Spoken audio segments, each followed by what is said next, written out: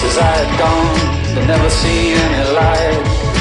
Dirty basements, dirty noise, dirty places coming through. Extreme worlds alone. Did you ever like it then? I would stand in line for this. There's always room in life for this.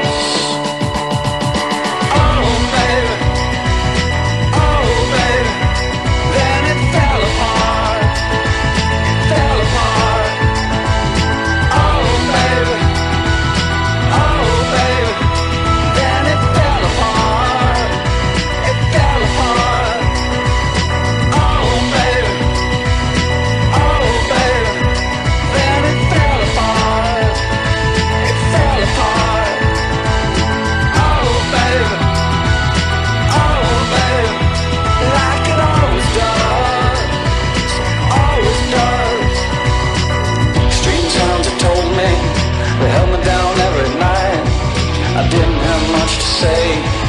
I didn't give up the